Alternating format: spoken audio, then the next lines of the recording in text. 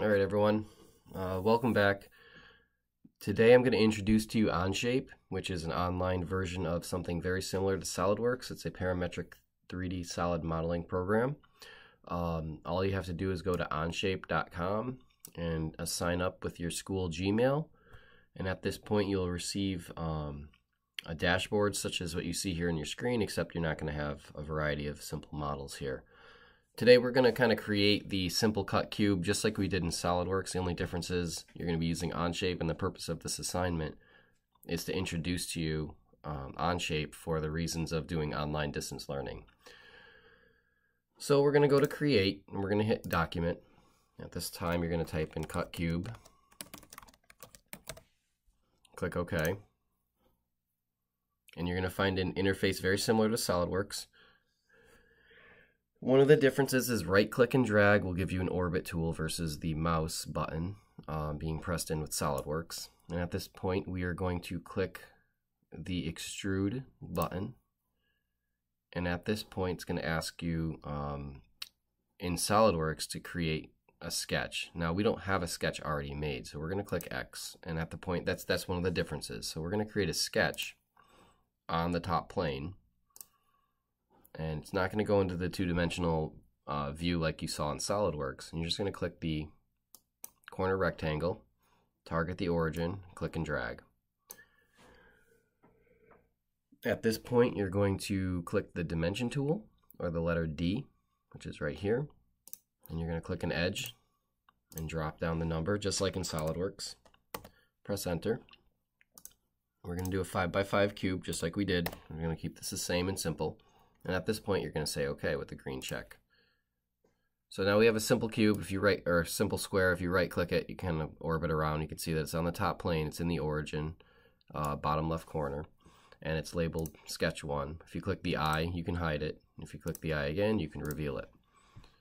So with sketch one selected, we're going to select the extrude button, and it's already been pre pre-selected.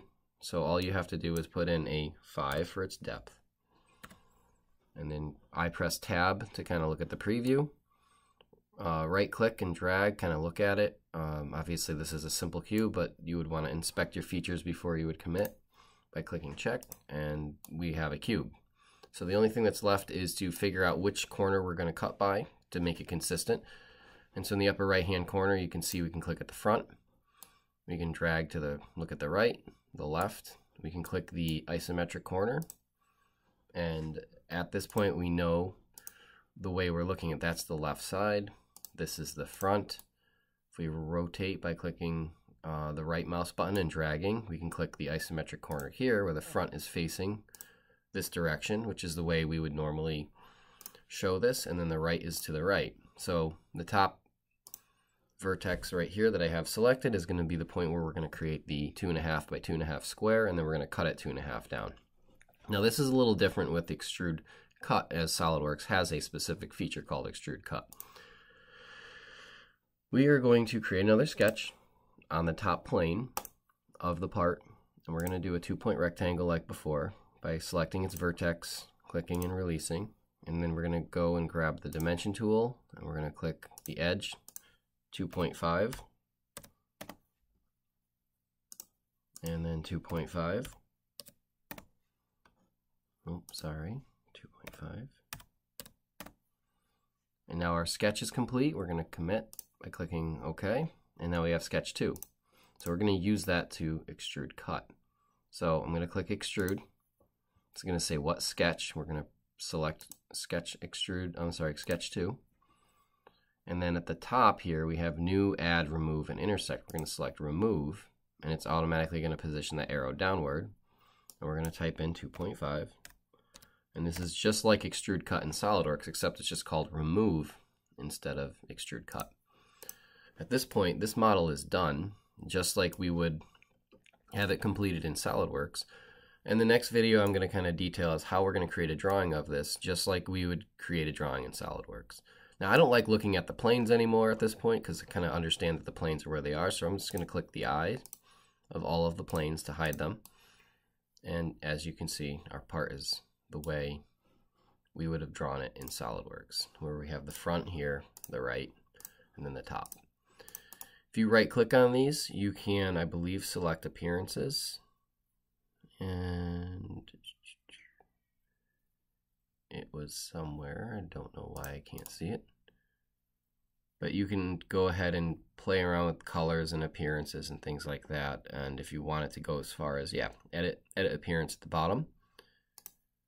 And I can select the top and then I can select the color if I wanted. Um, I could select faces. You should be able to select faces, but you can select, you know, various colors and whatnot um, if you're interested. But that's not necessary at this point, and there'll be a specific video related to that. So if this is completed, I want you to screen capture.